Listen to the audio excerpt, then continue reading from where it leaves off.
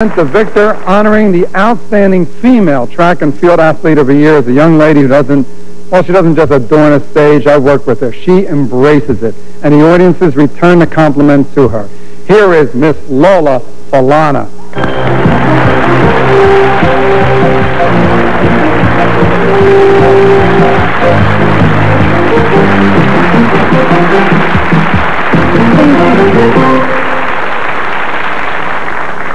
Must been thinking it's very difficult to finally select a, a female track and field athlete of the year because all three nominees are so superb. They're such competitors and their winning spirit is something that's always been there before, during, and even after the contest is finished. The nominees are Diane Dixon, Suzy Favor, and Joyna Minite. This year's winner became the first American woman ever to win a gold medal in the 1991 World Indoor Championship, winning it in the 400-meter race. And she even broke her own American record. Yes.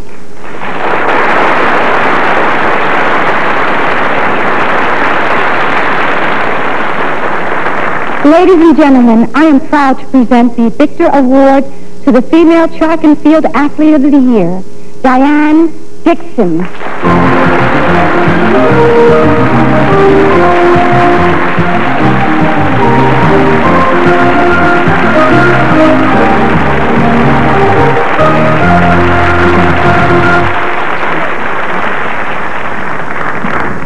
Wow, it's heavy.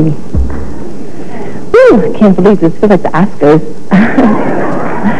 First of all, I'd like to thank the City of Hope National Medical Center, the Hilton Hotel, and the editors of Sporting News for acknowledging my accomplishments tonight and for honoring me with such a prestigious award.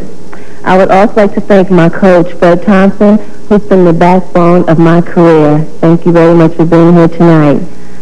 It doesn't really matter how many world championship titles I win or Olympic medals, but what does matter is to know that I've touched so many lives as the City of Hope has touched so many lives at the National Research Center, thank you very, very much.